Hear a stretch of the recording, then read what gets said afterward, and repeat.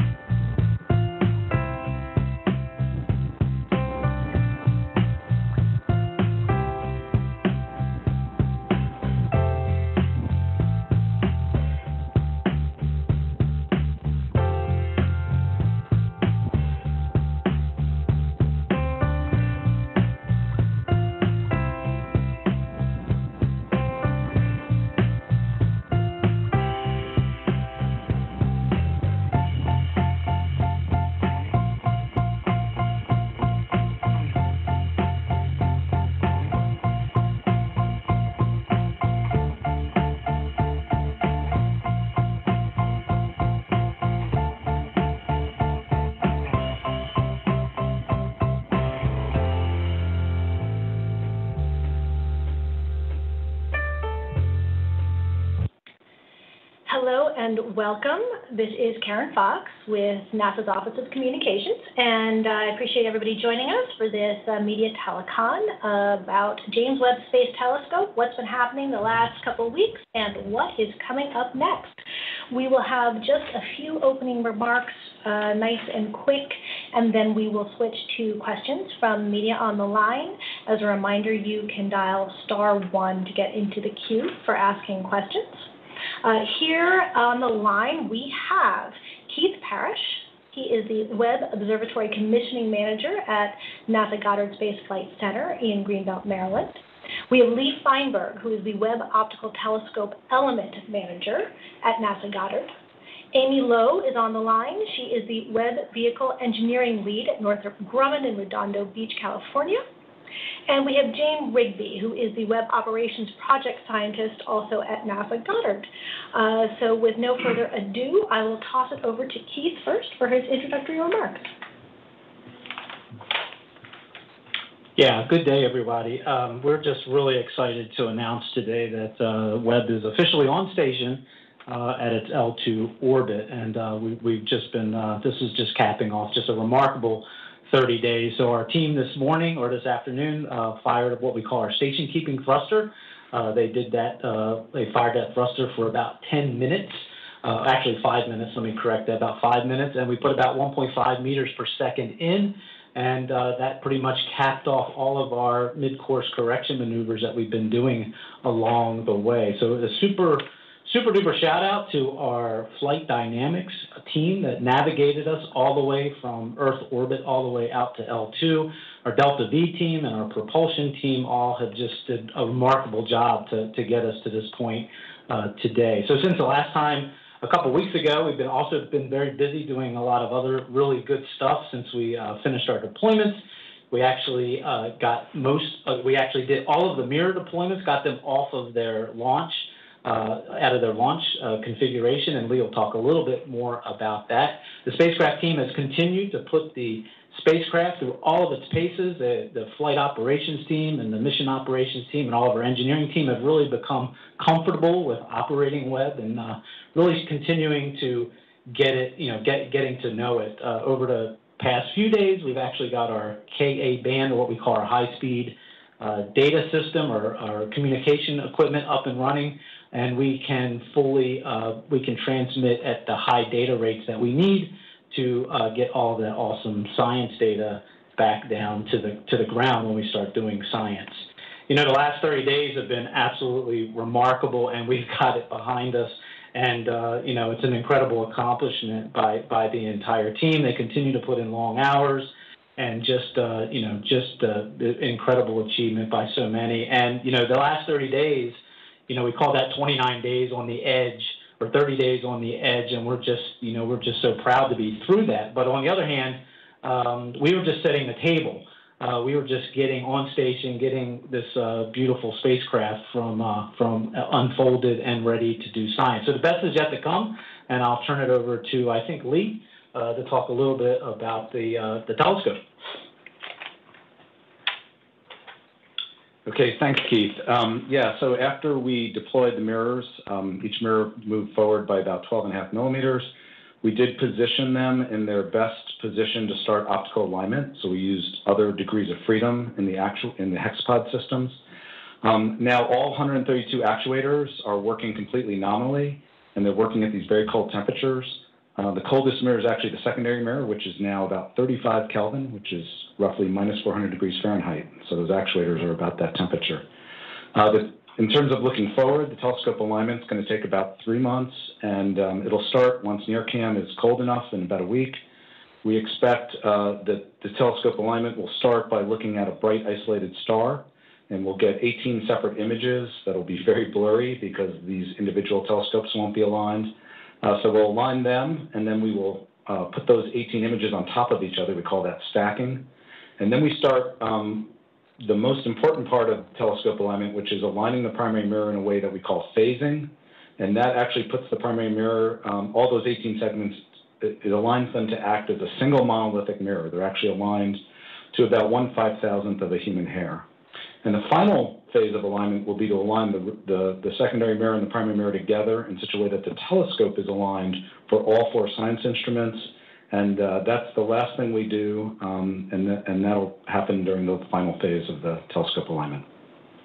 Uh, so um, should I turn it over to uh, Amy Lowe at Northrop Grumman? Hello, folks. Uh, this is Amy Lowe, and uh, as far as the uh, spacecraft and space vehicle goes, over the next few days, we'll be finishing up a series of our planned calibrations and really dialing in all of our subsystems to where they need to be. What we've been doing over the past month or so has been trending a lot of our telemetry, and as Bill had mentioned previously, uh, getting to know JWST better and better. Um, we're working both uh, at the Mission Operations Center and also here at Redondo Beach, where I am. The spacecraft remains healthy uh, like Keith mentioned, one of the highlights has been turning on our high gain antenna so that we could get high data rates back. Uh, that's been something I was really looking forward to, and uh, it's been great to see it in operation. Moving forward, basically over the, the, course of the next week or so, we are getting ready for the real reason why JWST is uh, on there, which is really to support the science instruments starting with the turn on and the telescope alignment, like Lee mentioned. So uh, we're pretty excited uh, that the spacecraft portion has been uh, going as well as it has, and uh, looking forward to the science instruments. And I think that lets me turn it over to Jane. All right, hi there, I'm Jane Rigby. I'm the scientist on this panel. So everything we're doing is about getting the observatory ready to do transformative science. That's why we're here. And so over the six-month com uh, commissioning period, the next three months, as Lee said, are all about getting the mirrors aligned so they're working as one unified telescope. And then the last two months of commissioning will make sure that the science instruments are working and that they are ready to do science. So I'm happy to take questions about that aspect of the process. Also happy to talk about the fantastic science that we're planning for the first year that is why we are doing Webb. Um, Webb will be doing more than 300 observing programs in the first year. Most of those fall into four broad science themes about the first generation of galaxies that formed after the Big Bang, how galaxies evolve over the history of the universe, how stars and their planets form, and then all about planetary systems, both our sun's planets and planets that are orbiting other stars. And so two of those key science topics that are, are really great to highlight, we're going to be studying the atmospheres of planets that are orbiting other stars to understand what their atmospheres are made of. Um, in addition, some of those planets might potentially be habitable, and we'll be looking for evidence of habitability. We'll also be studying through these very deep studies of, of dark parts of the sky the first generation of galaxies that formed more than 13.5 billion years ago. So we're seeing that light uh, only a couple hundred million years after the Big Bang, when it left those galaxies and started a long journey over most of the history of the universe to get to us. So we're a month in, and the baby hasn't even opened its eyes yet, but that's the science that we're looking forward to. Thank you so much to everybody. Uh, we will toss it now to the operator who will open up the lines for questions. And I will remind everybody in the room with me as well as Amy when we answer questions because we are only audio, please do identify yourself every time so everybody knows who you are. And with that, I'll hand it to the operator. At this time, if you'd like to ask a question, please press star one and record your first and last name. Again, that is star one, and please record your first name. Our first question comes from Jeff Foust. Your line is now open. You may ask your question. Thank you. Jeff Foust of Space News. I wanted to ask about the timing of the maneuver, why the, the uh, orbit insertion maneuver took place at 2 p.m. on Monday. What was the, the timing that led up to that particular point, particularly when in some of the pre-launch planning we talked about doing the maneuver at L plus 29 days, and today is L plus 30 days. Thanks. Yeah, hi, this is uh, Keith Parrish. I'll answer that. So, yeah, so a good thing about uh, how we've been managing our fuel and uh, the maneuvers that we did that we did for MCC 1A and 1B back on December 25th and December 27th. Wow, long time ago. Anyway, because of that, we had some flex. We had quite a bit of flexibility about when we did this maneuver. So to be to be very, we chose to do it on Monday at 2 p.m. and that was for logistical reasons for our team. Uh, also for our ground resources around the world, uh, we, we just took advantage of, uh, of, of everything to, to do it today um, because it just made a lot more sense for our team to do it today, and it, it, it cost us no penalty. So we did meet, we did move it one day from the 29, as, as you mentioned, uh, but again, no penalty on fuel, and uh, it was logistically and, and technically a better day to do it.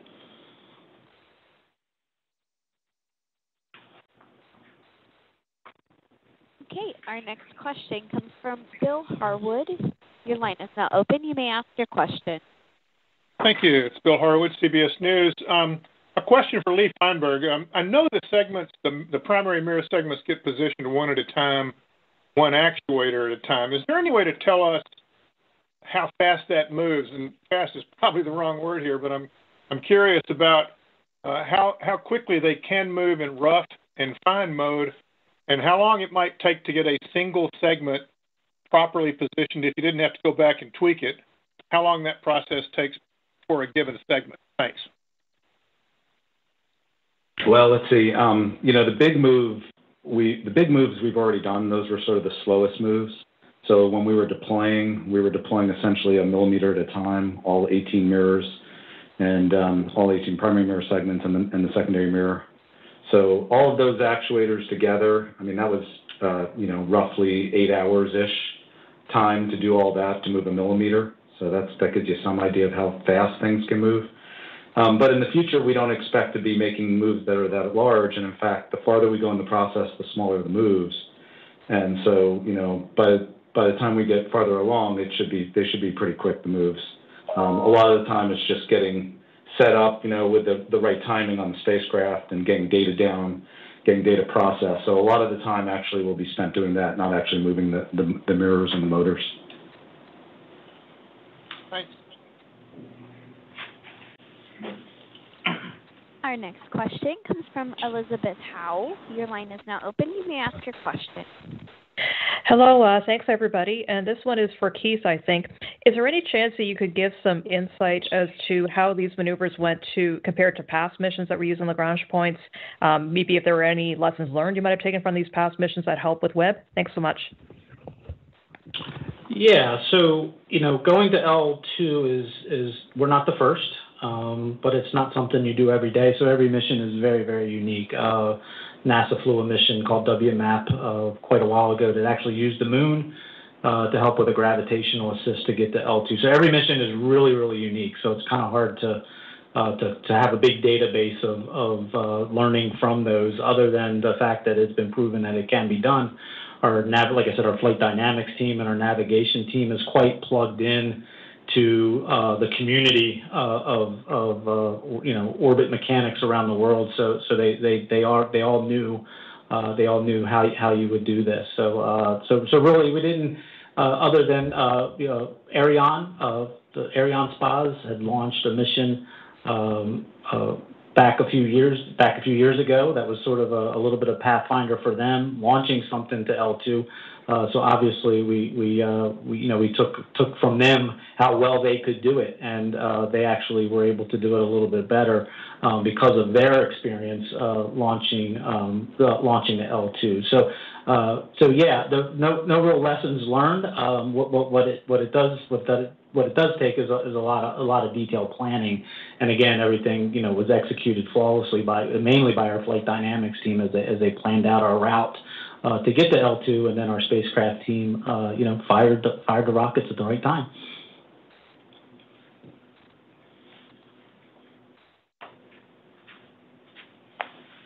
And as a reminder, if you'd like to ask a question, please press star one. Our next question comes from Marina Koren. Your line is now open. Hi, everyone. Uh, a question for Keith, I think. Um, now that the L2 burn is behind you, can you give us an updated estimate on how long Webb science operations might last now, given its fuel supply? What's your most specific estimate now? Yeah, so we, we've had that question before, and I, think, you know, our, our big burn was back on December 25th.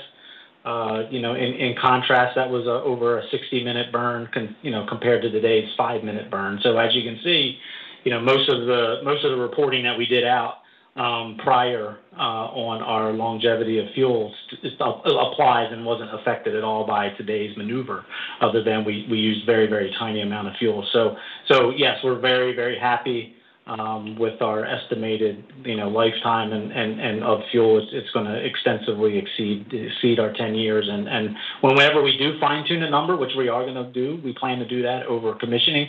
Uh, once we find that fine tune that number, everybody's going to be really thrilled by it. Um, when, once we do, so it's it's just a degree of how thrilled. Um, but ultimately, uh, we'll we'll find we'll keep fine tuning it um, over as we as we get through commissioning. Next question comes from David Curley. Your line is now open. Thank you very much. Uh, from Discovery Channel. A couple of questions. In lay terms, can you tell us about A3 and A6 mirrors, the fact that you launched with a problem, how that went? Were you nervous? Did it go exactly as you planned? And secondly, um, can you explain L2? Is it kind of like a an eddy in a body of water? I'm just trying to help explain to our audience where you are. Thank you. So this is Lee Feinberg. I'll take the first part of the question. Uh, and I we kind of knew that one was coming. Um, yeah, so a little bit of the history of A3 and A6. I know a lot of people were interested in that. Um, when we after we put the mirrors onto the telescope, this was when we were integrating the telescope at Goddard. Um, we did notice that two of the position sensors, these are called LVDTs, um, on on it was two of the A side position sensors and one B side position sensor were not operating the way we expected. But what we figured out was that these position sensors actually are a differential measurement, which means you're subtracting two things. And one side of them was working fine. And so we realized that if we did a special temperature calibration, we could still use that position sensor. And so that's why those mirrors kind of worked in a different way. Um, we had to, when we when we use those position sensors, we had to know the temperature and we had to put that into sort of our operational sequence. Um, that's all that was. We were very confident it would, it would work. We'd actually had done this before.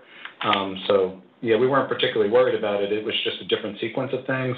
And really what this did is it allowed us, when we were in the integration and testing, it just saved a lot of time and effort to try and remove position sensors very late in the game. Um, so this was a way to kind of just do things very efficiently from the, build, the building of the observatory. Turn L2 over to. Yeah, you, you want to take the L2, Jane? Yeah, Okay. or Amy. So you asked for the layman's view of L2, and I will tell you that the way I see it in my head is like a Pringles potato chip. Okay? Um, it isn't a it isn't a valley. If it's a valley, everything would collect there, and then you'd have a lot of space junk, and that wouldn't be good. It is a saddle point, so it's the it's the middle of the Pringles potato chip. So it is a semi-stable point in our solar system. It is helpful, you know, we're, we're never, we never want to get over to the other side of the potato chip, then we start drifting away from the Earth, and we don't want to do that. So if you think about staying on one half of the potato chip and just kind of inching up it and then letting it fall back down gently, and then inch your little stone back up and then let it fall back down, but never get over the top of the potato chip. That's what we're doing in L2. We're in orbit around L2 on the Earth side, um, so we don't drift away. And that's what we do. We're just going to keep pushing the rock up the potato chip and letting it fall down for the life of the mission. I'm going to use that as a headline.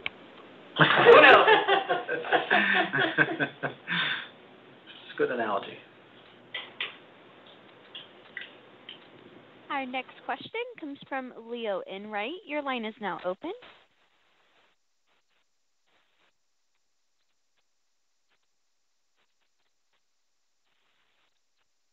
And Mr. Leo Enright, if you could please check your mute button.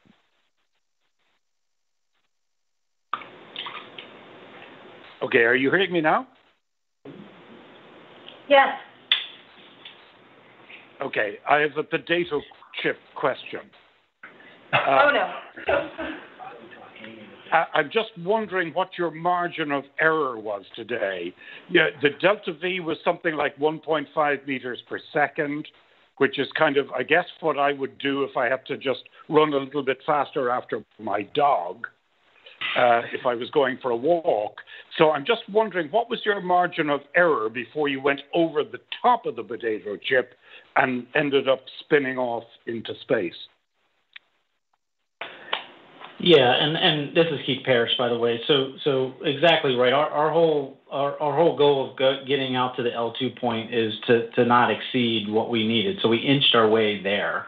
Uh, and we started that inching with the launch of the Ariane. We actually told them to not make us too fast, so actually put us a little lower than than what would be ideal. Uh, and then we then we put in a little bit more velocity with our with our Christmas Day MCC 1A maneuver.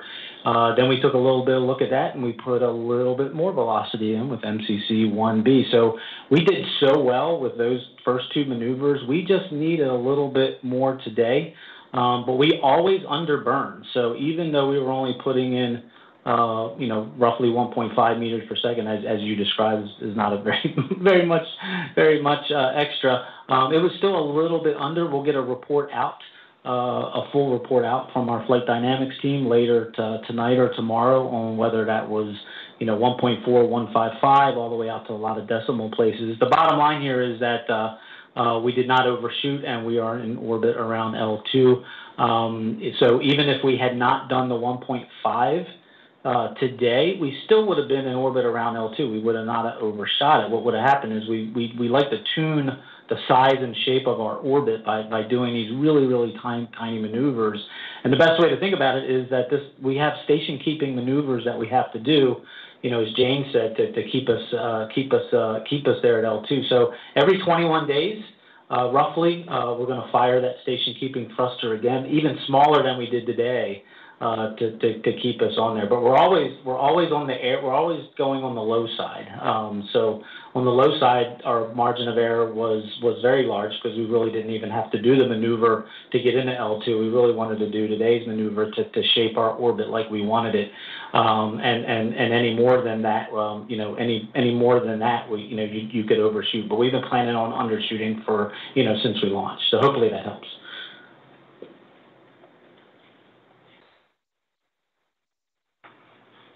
Next question comes from Greg Redfern. Your line is now open. Thank you, everybody. And I think this is for you, Lee, uh, for our listeners at WTOP Radio. You mentioned that the telescope will be focused, the 18 mirror segments, using a bright star. Have you identified what star you will use? And if not, how will you go about determining which star you will use? And thank you very much, and way to go. Way to go today. All right. Thank you, WTOP. Um, so, yeah, this is Lee Feinberg. So, yeah, we actually have chosen the star. Um, we needed a br- we need a bright isolated star, and the idea is the reason we want it isolated is we don't want to get confused when we have these 18 separate telescopes, you know, and have too many stars essentially. But the star is HD 84406. It's uh, it's in Ursa Major. It's um, just near the bowl of the Big Dipper, and um, you can't quite see it with your naked eye, but I'm told you can see it with uh, binoculars. So for those of you who want to go take a look at it, it, it was dependent on sort of you know the, the period of time that we'd be you know uh, doing this. So um, you know, which star we use kind of changed, but this looks like the star we'll be using since uh, we expect to be getting going in, in sort of next week. So that, and it's a G5. And it's a G5, as so Jane just said. Star. So yeah, which means it's a, a lot like our sun. Cool.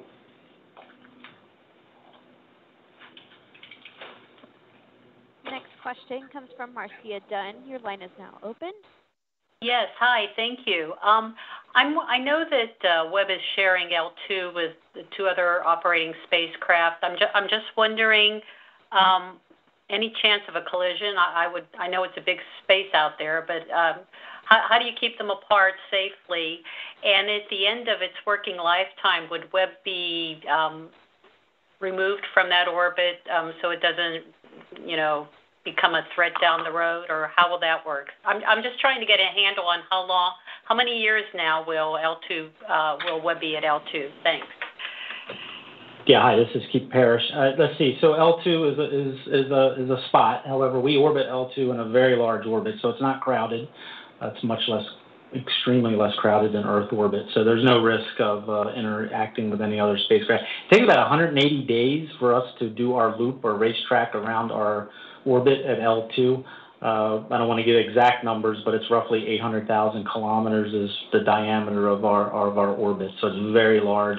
And that's one thing we, we designed, like I said, our flight dynamics team designed that orbit uh, to be very large around L2, and, and, you know, because it is, you can take advantage of, of all that room. So what happens at the end when we do run out of fuel? Yes, we do. Uh, we do leave a little bit of fuel uh, uh, left over so that we can, you know, passivate Webb if we need to. Uh, you know, and, and what that'll do is it'll just put us into a solar orbit uh, around around the sun at that point. So there is that that can be done if we're required to do that. Uh, but what we don't want to do is uh, you know, L2 is stable, is unstable, as as as Jane uh, mentioned earlier. So you do have to maintain that. So so yes, we would uh, at the end of its mission uh, some future folks will make that decision and uh, uh, maneuver us safely into a, a solar orbit. Thanks. Next question goes comes from Joel Achenbach. Your line is now open. Yeah, thanks so much, and congrats on how the mission is going.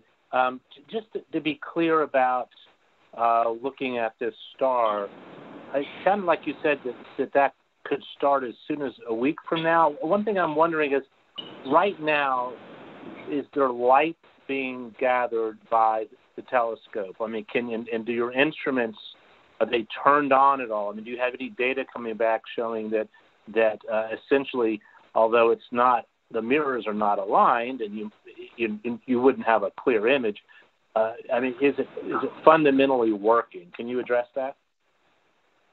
Yeah, I mean, we have not started. This is Lee Feinberg. We have not started taking images yet. Um, the instruments have to be cold enough. Um, to start the, the telescope alignment, we need the NIRCam instrument in particular. Um, and initially, we've had some uh, heaters on to prevent ice from building up. Those have to be turned off in the next week, and then things have to get cold enough. The detectors and the optics have to be cold enough to actually get an image.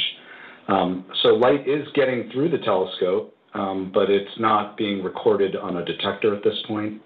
Um, so, so that's that's really where we are at this point. I apologize. Is is this Keith or Lee talking? That was Lee Feinberg talking. As Lee, it, you said light is getting through the telescope. How do you how do you tell that?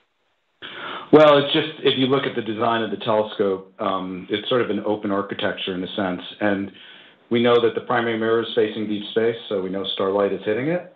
Uh, it's not well focused. Um, we know that that light's then hitting the secondary mirror, especially now that the mirrors are in their deployed state. They're pretty close to a real telescope in terms of their alignment. And then um, the, the next optic is the tertiary mirror, and it's open to the tertiary mirror, and it finds light's hitting the fine steering mirror. At that point, some of the light gets stopped in the instruments where there's some, you know, there might be something to block the light. Um, some of the instruments, you know, the light can get all the way through. So we know, we just know based on the design that it's getting through there, but we don't have any detection yet. We won't have that, and as I mentioned, until next week when we start the alignment and the instruments are cold enough. Thank you. As a reminder, if you'd like to ask a question, please press star one. Our next question comes from Lisa Grossman. Your line is now open. Hi, thanks so much for taking the time to do this. Um, I was wondering how long it takes Webb to complete. So there's two orbits going, right? There's the um, Webb or doing the up and down the Pringle orbit, and then the Pringle orbits the Sun. How long do each of those orbits take?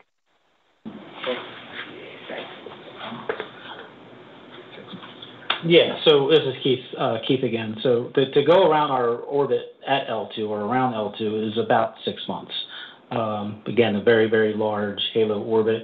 As we're doing that, uh, we're going around the sun, you know, in a year with the Earth uh, to keep that Earth Sun always aligned with us. So uh, yeah, it's it's basically we're around the, going around the Earth. I mean, going around the sun with the Earth, and then we're doing this uh, large halo orbit. Again, it takes about six months to go around that racetrack or that orbit.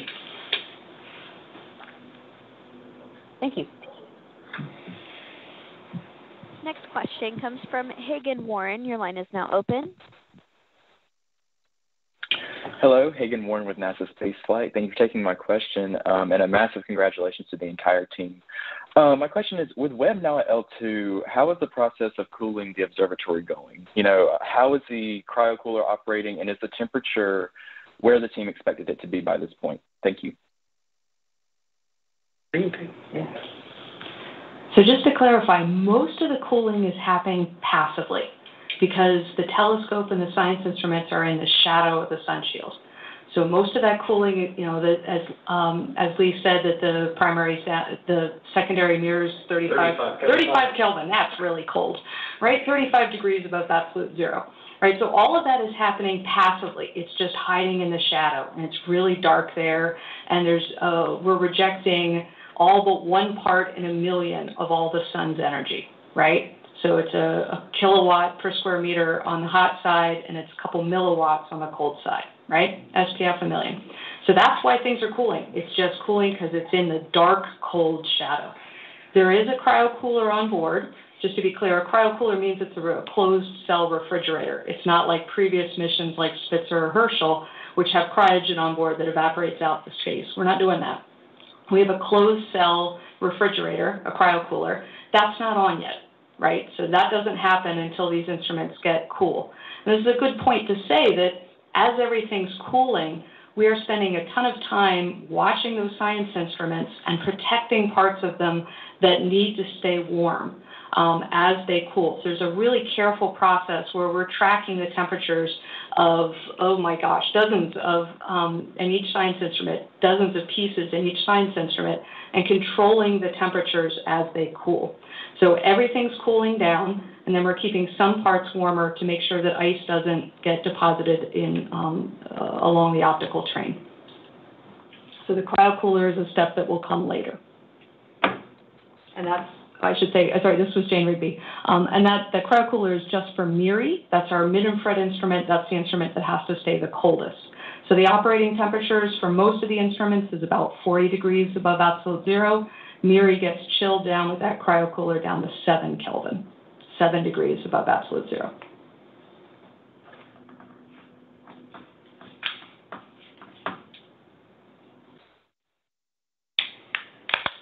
Our next question comes from Philip Pologorski. Your line is now open. Hi, I'm Filip Pogorzelski from the Science Channel of the Polish Public Television. First of all, congratulations on all the JWST mission successes, and I wish you some more great discoveries. Uh, and my question, as the Lagrange L2 point is not fully completely stable, JWST needs some corrections in time to stay on the right orbit. How often and when they will be done? And the second question, uh, how do you determine the precise position of JWST and in space? Is the measurement based on position of the stars, or maybe you have different methods? And thank you for the opportunity to ask a question. Yeah. Hi, it's Keith Parrish again. So yeah, so we do we do maintain the L2 orbit, uh, and again, the prediction is that every three weeks or 21 days, we'll do a small firing of the uh, station keeping I mean, engine or thruster that we use today. Uh, I, I, should remind everybody that when we launched, uh, James Webb was a completely different spacecraft. It was all folded up, so we had a thruster uh, in a different location. Today was our first use of our station keeping thruster because we're all unfolded and we're in an actual observatory. So yeah, every 21 days we're going to use that station keeping thruster. Again, it could be 18 days, it could be 25. We'll, we'll let our again we'll let our flight dynamics team uh, figure all that out for us over, over the next few weeks. Uh, and then as far as position in space, again, our flight dynamics team uh, does that via what we call Doppler uh, tracking of our radio signals to, to the ground station and how fast our ground station antennas are, are tracking us. Uh, so they use a couple different tools, mainly mainly the Doppler uh, method on the radio waves to, uh, to, to actually track our speed, our, our velocity, location, and speed. Uh, in combination with some other methods. So that's how they tell where we are in space and what direction we're going and they and they they they uh, they uh, they uh, assess that data over long periods of time as they gather it on the ground. As far as where we're pointing, um, you know that that's that's part of the uh, the, the, the the science program and and where to point and, and right ascension declination. That's all controlled by our ground system for pointing the telescope uh, for, to whatever observation uh, is of interest. Uh, hi there, this is Amy Lo. Uh, just to add that also on board, we have a slew of instruments on the spacecraft, like the star trackers and the fine sun sensors, that lets us measure where the sun position is and where the stars are to know our attitude, i.e. where JWST mirrors are pointed in space.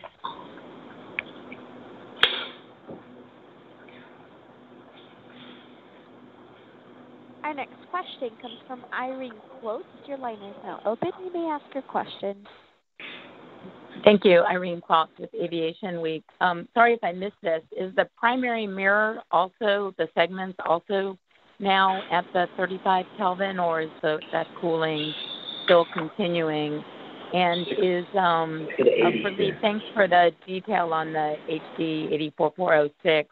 Is that star intended to be used for the kind of entire three month alignment and stacking process, or is that just one target of or of of possibly many that will be used during the uh, during the uh, time to align the the segment. Thanks. Yeah, um, so we pick a star that is in an area they call the continuous viewing zone. So we'll use it as long as we can, but we expect to hand off stars as we go here. Um, so, so that's sort of the plan. As far as the temperature, um, the primary mirror is actually warmer, um, by design. Actually, the secondary mirror is the coldest mirror, so that's it, it will be the coldest mirror ultimately, and that's why it's the coldest right now. The the telescope mirrors vary from roughly 60 degrees Kelvin to 80 degrees Kelvin, which I don't know in Fahrenheit, but it's probably like uh, minus 350 degrees ish Fahrenheit, roughly. Yeah. In the minus 60, minus 50. Yeah. And and um, there will be the mirrors won't all be the same temperature even on the primary mirror. There's actually you know different temperatures as you go up the primary mirror, and we're seeing some of that distribution right now. The the wing mirrors tend to be a little colder right now. They have a little bit more view of deep space.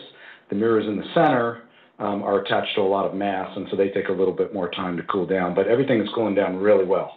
So uh, we're really happy, and uh, thank you to the SunShield team who did obviously a great job because for the mirrors to be this cold already, um, they're right where they should be. So, so we're feeling really good about where we're going to be. And in fact, the, the secondary mirror is already in its operating temperature range, and the primary mirrors are just hitting that operating temperature range. That's really critical because that's the temperature at which we know the mirrors will perform the way we expect. So, uh, so we're right on the verge of that now. Thanks. And is the NIRCam uh, target temperature the 35K? No, um, so, well, it depends on which temperature you're talking about, but the temperature we need to start the, wavefront process, the telescope alignment process, we need the, optics and the detectors more along the lines of about 100 Kelvin. Um, but ultimately, the detectors will cool more in the lines of like 50 to 60 Kelvin.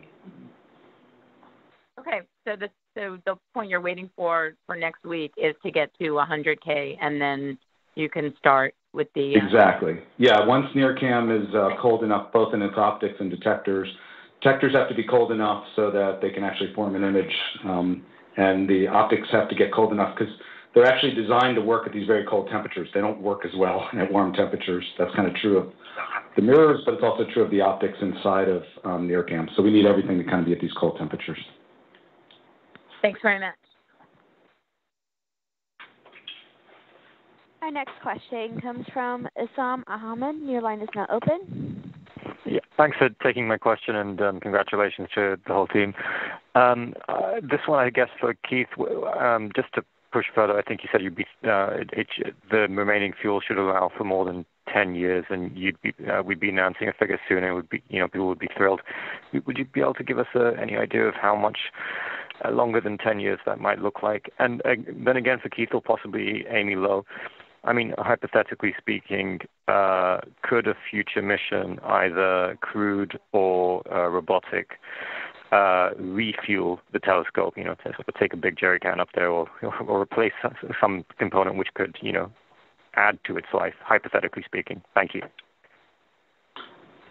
Yeah. Hey, this is Keith. Yeah. Um. So when it comes to fuel, we we are incredibly we, we have plenty of fuel. We, we probably should take that off the table. Uh, we're going to ex, you know extensively you know exceed our 10 10 year life. Uh, and and and you know you've heard numbers around 20 years. We think that's probably a good ballpark. Um, but uh, so but we're trying to refine that. So we don't think fuel is you know, it's really going to be off of our mind uh, as far as you know a life limiting thing uh, going forward, regardless of what the final number is. Uh, like I said before, it's it's to you know we're we're we're just we're all going to be thrilled. I think the astronomical community is thrilled. Um, you know, the folks who built and designed Webb and, and every everybody's just thrilled by that final number. So it's going to be you know, like I said, you, you've heard you've heard some of the numbers out there, and, and they'll, they'll be right around there when, when we fine tune it. As far as refueling Webb, again, we don't anticipate a need to do that. Uh, again, we don't know what condition Webb will be in in general when it does run out of fuel. That's a long long way down the road. Um, but uh, and we never want to limit our imagination. So I say never, uh, but right now we don't anticipate a need to do that. Uh, again, uh, not quite understanding what condition Webb will be, and, and, and say that two decades from now. Uh, but uh, people are creative, and as you know, right now things are going. You know, the, the advances in spaceflight are really going well. So who knows? Who knows what some future folks may want to do with Webb uh, and visit it and do something. Uh, but right now, there's absolutely no need to, to think about fuel or refueling. Thanks. Our next question comes from Steve Gorman. Your line is now open. Yeah, hi. Uh, thanks very much. I have so many questions. I guess the one thing I wanted to ask about is this, the cooling down process. So uh, again, just to make sure I understand, so you're waiting to till next week because that's the point at which you you expect that by then uh, the I think it's called the mirror cam. This cam one one of the forms which going to be that be necessary to use to help align the the uh, the primary mirror, mirror will be cold enough down to about 100 Kelvin for it to operate properly in order to to do the alignment process with the with the mirrors. Right, that's what you're waiting for. And yeah, yeah. So um, this is oh, go ahead. Okay, and, and then Mike, I guess so. I just want to make sure I understood that correctly. And then the other thing was when you uh, just explain to readers, we keep talking about waiting for the the, uh, various parts of the of this observatory to cool down sufficiently to whatever whatever uh, uh, temperature they need to operate, out, you know, optimally. What is just? I, I believe I know the answer to this, but are we waiting basically for the the, the the telescope as a whole to cool down, waiting for basically residual heat that's mainly mainly from solar exposure to dissipate in the shadow shadow of the sun of the sun shield, right? It's cooling down from what? In other words, it's cooling down. Yeah. From okay. So heat. Yeah, so let me help you out a little bit. Let me start with um, the NIRCam instrument. So a really key point is that, um, and this is a very unique thing about Webb. There's no, there's no other. There's, ground telescopes don't do things this way, but we're using the, the main one of the one of the science instruments, the near infrared camera, as our wavefront sensor. And we've actually inserted special little optical elements inside of the filter wheel, little lenses and other things that are going to help us align the telescope.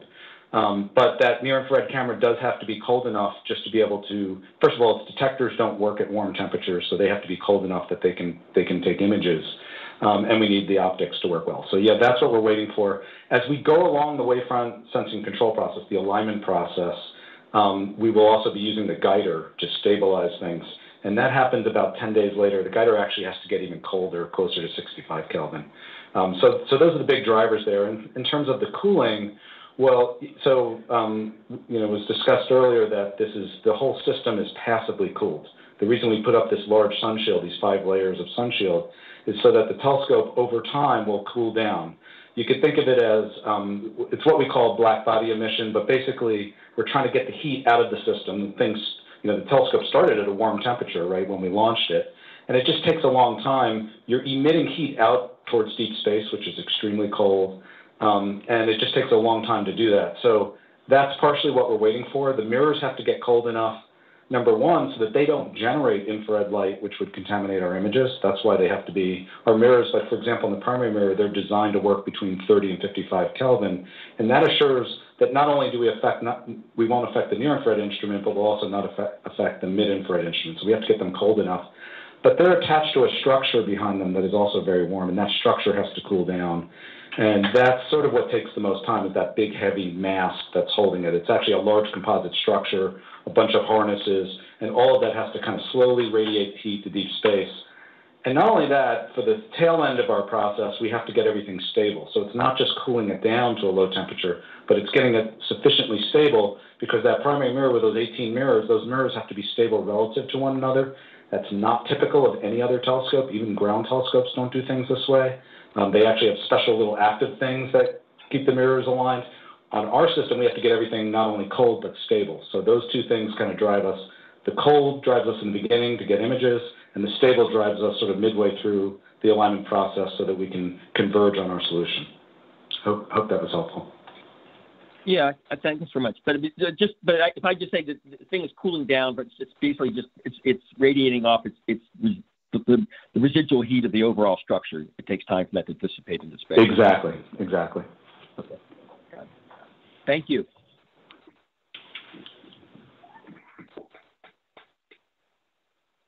Our next question comes from Paul Brinkman. Your line is now open. You may ask your question. Hi, yeah, this is Paul with United Press International. Can you hear me?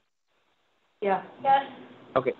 Great. Um, I think this is for Keith or Jane regarding the commissioning timeline and uh, first release images. Um, I know you aren't going to tell us what those images will show, um, and sorry if I missed this at some point, but does anyone know when those images will be released? What does that timeline depend on? And specifically, will you be able to release images taken during commissioning, or or do, does the public have to wait like the full five additional months to see something? Thanks. This is Jane Rigby. The plan is to release the, um, the first beautiful images um, in a press conference about six months after launch. So that's about five months from now. So those are the, the early release observations, the EROs. So that is the set of data that show that the telescope is working, that the science instruments are working, and that this is indeed the transformative telescope that we expect it to be. I think you're also asking if there's additional data at that time. When we finish commissioning, we will, all, we will release all the data from commissioning. So commissioning ends after that ERO press conference, and we'll open up the archive at that point, and so the commissioning data will be in there. So that means interested scientists from around the world can go take a look at that data. A lot of it won't be very interesting because it'll be those ugly, fuzzy pictures of stars out of focus that, that we had to laboriously drive into focus. But there will be some fields that will be of scientific interest, and we'll open up that archive um, at the end of commissioning.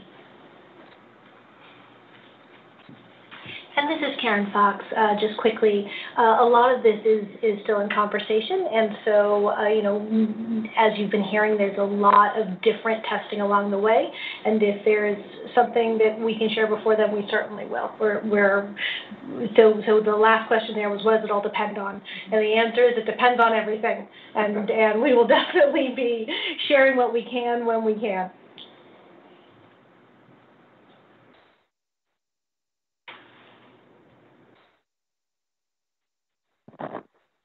Our next question comes from Leah Crane. Your line is now open. Hi, uh, my questions have most have already been asked. I was just going to ask if we're going to be able to see commissioning images before that press conference. So this is Karen Fox again, and, and the answer is, is absolutely we'll share what we can when we can, if we can. Um, but certainly, as Jane was saying, there'll be test images, lights, things that don't even look like stars. Uh, so, but if there's something that we can show, we certainly will. Thank you. But don't hold me to anything. We're figuring it out. That's that was the point I was making.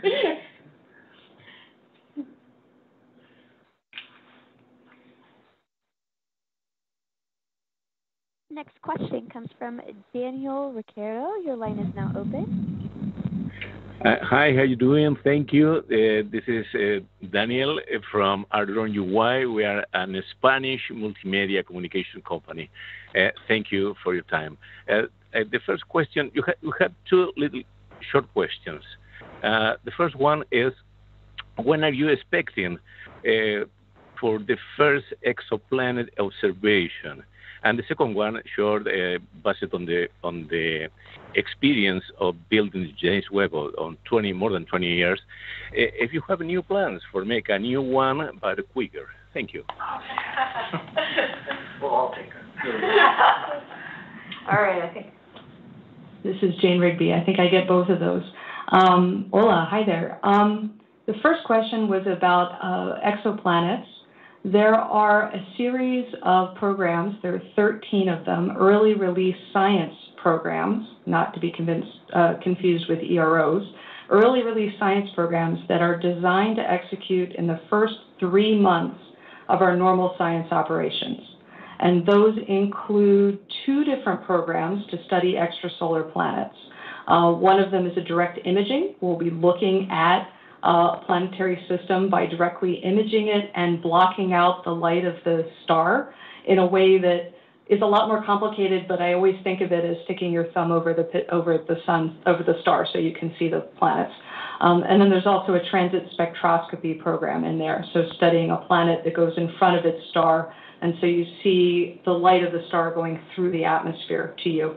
Those ERS programs, early release science, uh, are designed to be, we're going to front load them in our schedule, so we will observe them as much as possible in the first three months of normal science operations. The second half of your question was? Future. Oh, future missions. Um, so certainly the Webb telescope, this, this method of deploying a telescope in space, of curling it up to fit inside the rocket and then unfurling it once, to, once it gets to space, um, that is something that we could do again. And in fact, the, uh, the once every 10 years, the decadal survey of astronomy just came out, uh, Astro 2020, and indeed recommended a deploy, a, recommended a large telescope in space. Um, and the obvious way to do that is to deploy it in space. So yes, indeed, people are working on what the future would look like of future big telescopes in space. Thank you. Thank you for your time. Really.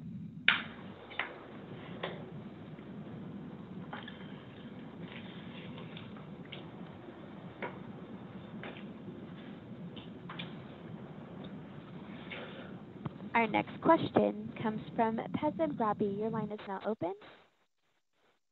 Hello. Um, so I was just wondering now that uh, James Webb is is getting ready to observe, I'm wondering if along its orbit, are there certain points in its orbit that are better suited for observing certain targets? Like halfway through the orbit, it's better suited to observe Enceladus, for example? So our orbit, so the Webb orbit is basically, you know, on the, the anti-sun direction from the Earth, right? So it's out there and it's in this little orbit around L2, going around twice a year. Um, the main thing for scheduling, like when can we observe what, is that we have to keep the sun shield such that the, the, the sun and the moon and the Earth are blocked to the telescope, right? The telescope never gets sunlight on it again. That's the goal. Doesn't get Earth light on it either. So that means that that part of the sky down where the sun shield is, we can't look at, any, you know, at a given time. So at a given time, Webb can see about a third of the sky, it's 35%. And then that field of regard where we can legally point, that rotates slowly as the Earth and, and Webb go around the sun. And so any point in the sky is accessible over the course of a year to Webb. Webb can look at any given point in the sky um, during the course of a year, but at any one time, it can look at about a third of the sky. So this is part of what factors in as we make schedules. We take all of the, the targets that have been approved and then we work out a schedule that minimizes the travel time between each target, like how far we have to turn the telescope, um, and that of course, you know, gets each target when it's observable. And there's a bunch of other factors too, like how dark the sky is for that, that piece of the sky, which changes with the, with the year. Hi, uh, this is Karen Fox. We are coming up on the hour. We have two more questions from people who haven't been able to ask questions yet, and we will be taking those too, but then we will be wrapping it up. As always, if you have something you want to follow up on or extra questions that didn't get answered, you should feel free to send us an email, and we will try to get you additional information. Um, but back to the operator for those last two.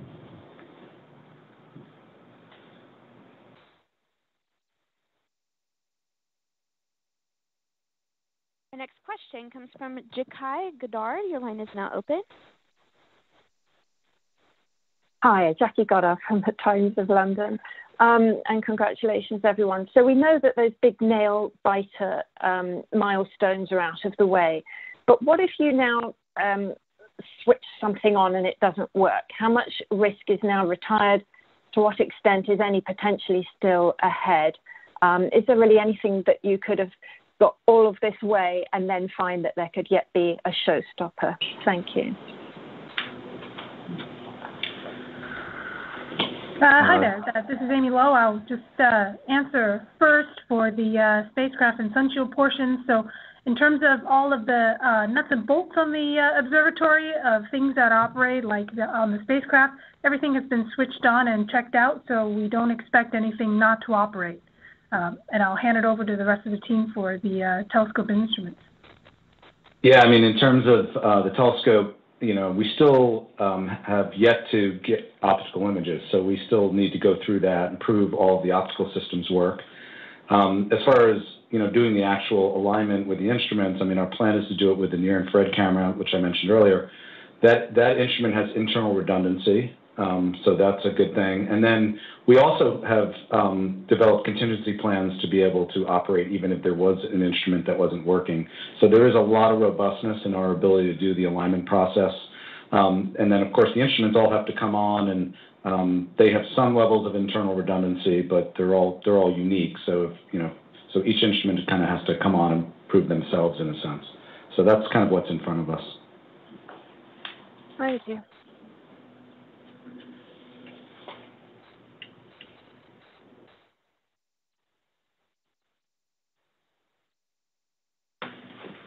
Our last question comes from Marcia Smith. Your line is now open. You may ask your question. Thanks so much. Uh, I just had a couple of numbers that I was looking for.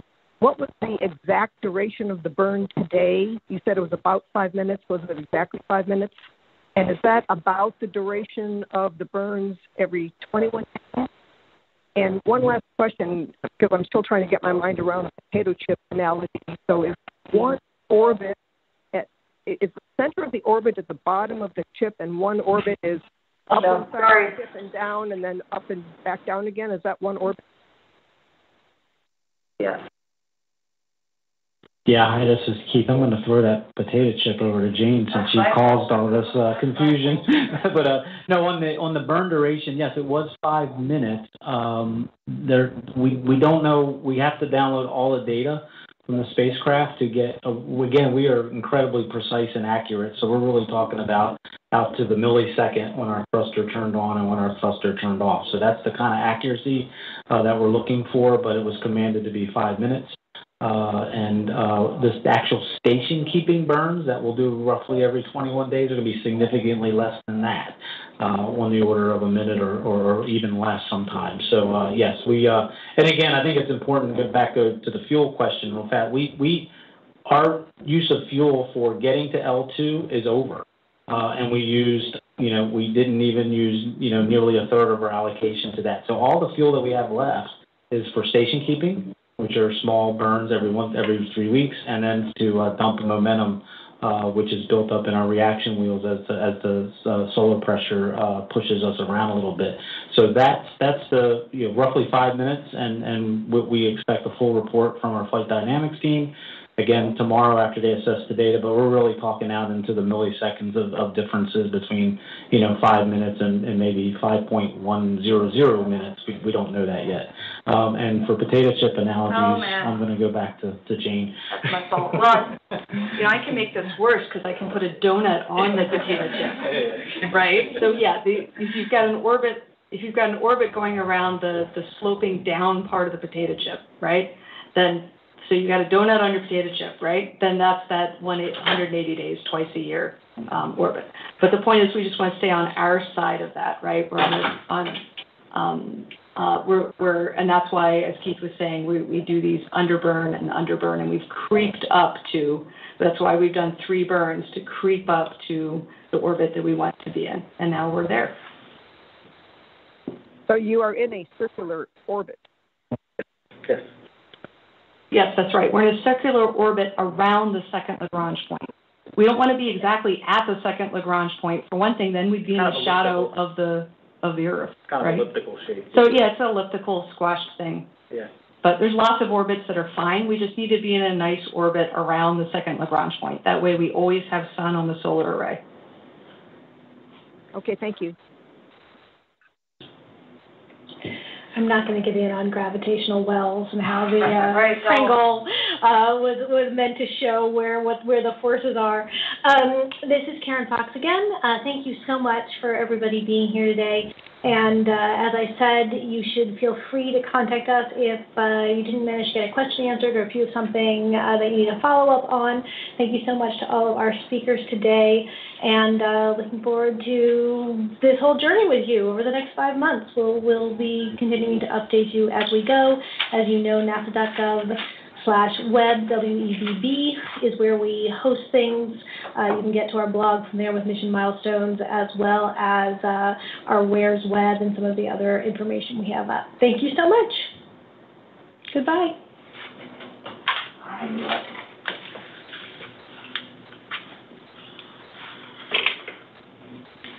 Thank you for your participation. That concludes today's call. You may disconnect at this time.